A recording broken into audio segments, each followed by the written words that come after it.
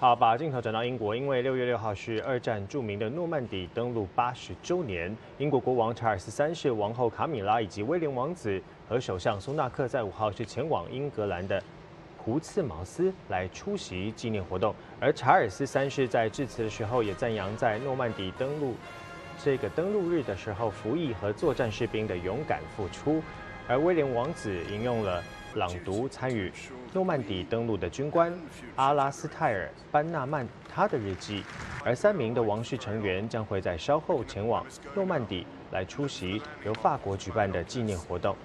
而同一天出席活动的还有当年参与登陆战的老兵，现在最年轻的幸存者已经接近一百岁，他们同样会在稍后乘船前往诺曼底来出席纪念活动。